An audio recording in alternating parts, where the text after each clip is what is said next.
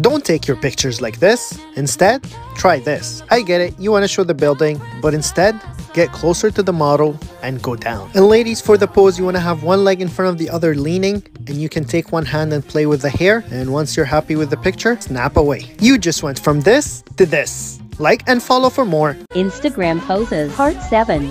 First pose, spin around like you are happy. Second pose, lean on something and stretch your legs out. Third pose, bend sideways and join your hands in a trapeze. Follow for more tips. How to pose with an amazing view. Please not like this. Let me show you.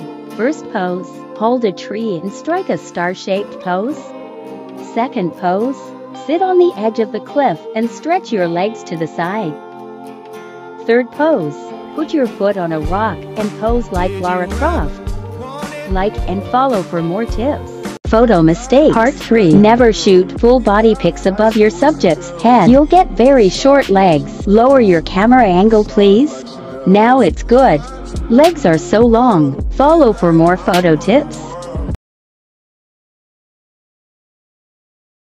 Still posing like a stick. Please stop doing this. Let me show you three poses. First pose, lean against the wall and cross your legs.